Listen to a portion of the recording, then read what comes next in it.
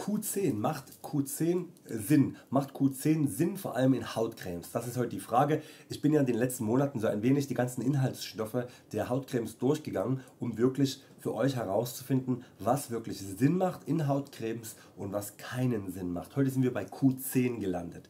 Das Video zum Calcium fand ich auch sehr, sehr interessant, dass das Thema, weil ich recherchiere auch häufig außerhalb vom Internet, dass das im Internet noch gar nicht so richtig publiziert wird. Also wer das Video zum Calcium noch nicht geschaut hat, schaut bitte einfach das Video sich nochmal an. Ich habe keine wirkliche Webseite dazu gefunden, keine Quelle außerhalb äh, ja, der wissenschaftlichen Literatur, die ich zur Rate gezogen habe. Das waren Studien, beziehungsweise das war ein Buch, ähm, Gesunde Altern hieß das, das eine wissenschaftliche Abhandlung, das ist so eine Zusammenfassung von Aufsätzen und da hatte ich auch mal eine Rezension gemacht.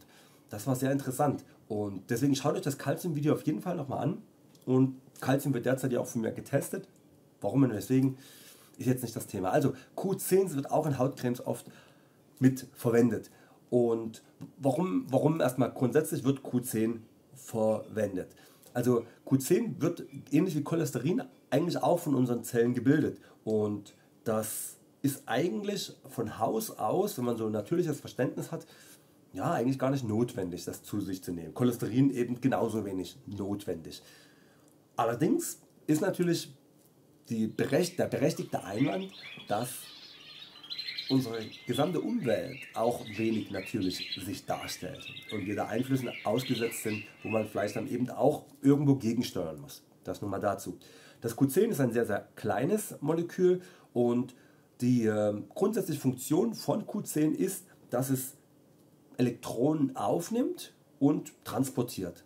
So mal ganz pauschal und einfach und für ein YouTube-Video ja, genau in der richtigen Intensität abgebildet. Also Elektronen aufnehmen, transportieren. Q10. Und da gibt es dann noch eine, eine, ja, eine weitere Funktion und was heißt eine weitere Funktion? Das ist die Funktion, die damit einhergeht. Das ist, es gibt Sauerstoffradikale. Ich habe mal ein Video gemacht zu Sauerstoffradikalen, was sie in unserem Körper auslösen, wie schlimm sie sind und ja, wenn ich dran denke, verlinke ich euch das auch. Ansonsten geht einfach auf meinen Kanal, auf die Kanalsuche und gebt irgendetwas ein, was euch interessiert. Ich habe zu fast allen Dingen schon ein Video gemacht. Und ja, und da wirkt Q10, wenn es die Sauerstoffradikale sozusagen aufnimmt, als Antioxidant. Und dann könnt ihr euch äh, ja, relativ schnell ableiten, warum das auch für die Haut dann gut ist, wenn es halt äh, die Oxidation verhindert. Und das Molekül ist halt von der Seite her auch besonders gut geeignet dafür als, ja, als Sauerstoffradikalfänger, um äh, äh, deswegen, weil es ein kleines Molekül ist und das kleine Molekül dringt halt sehr tief und sehr gut ein, aber immer noch auf organischer Ebene, also keine Nanopartikelchen, wie zum Beispiel kolloidales Silber, wo überhaupt noch nicht klar ist, äh, ja, was dieses kleine Eindringen, also dieses aufgrund der, der wirklich, das sind ja Nano, Nanopartikel, auf Eindringen ins Gewebe, was das überhaupt auslöst. Das kann richtig schwere Spätfolgen haben. Ähm, aber auch nicht das Thema. Aber Q10 ist ein organisch kleines Molekül, was halt wunderbar überall hin kann. Und das wirkt auch, das Q10 wirkt auch extrazellulär. Das bedeutet, dass mh, mm, das, das Q10-Molekül nicht nur in die Zellen eindringen kann, sondern dass es auch um die Zellen, also außerhalb im, im extrazellulären Raum zu finden ist. Und da ist halt, haben sie was gefunden, die, die Studie dazu verlinke ich euch auch unten, dass umso älter man wird, umso, mm, also die Menge an, an Q10 die außerhalb der Zelle vorhanden ist, umso mehr nimmt das ab. Das heißt, das Q10 nimmt immer weiter ab. Und ich verlinke euch übrigens auch mal das Buch, wo, wo alles das drin steht. Also zwar nicht immer exakt so, aber äh, so im Großen und Ganzen. Könnt, die Studien sind dann auch in dem Buch drin. Da könnt ihr dann euch wirklich auch euer eigenes Bild machen.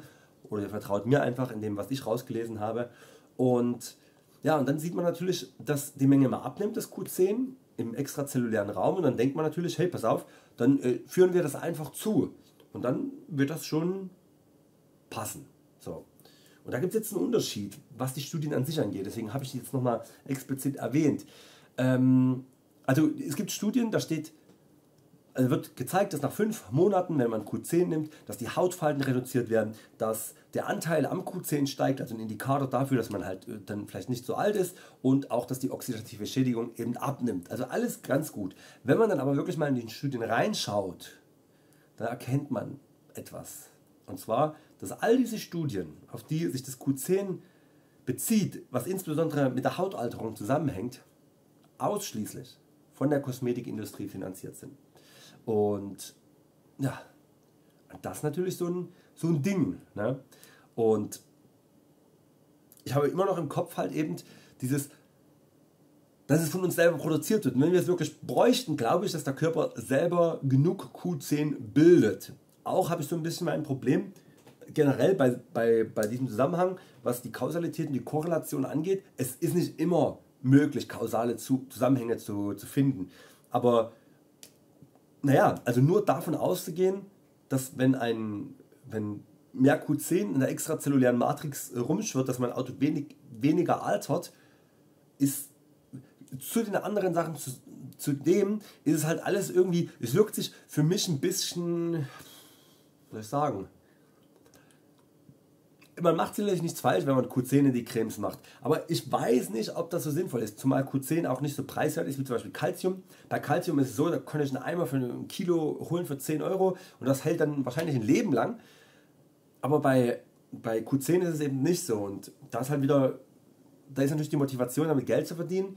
Die Industrie, Kosmetikindustrie, die auch die Studien in Auftrag gegeben hat, ist alles ein bisschen fragwürdig mit dem Q10. Also ich kann aus meiner Sicht zum Thema Hautalterung, muss ich dazu sagen, und noch was, Hautalterung ist okay, Altern ist okay.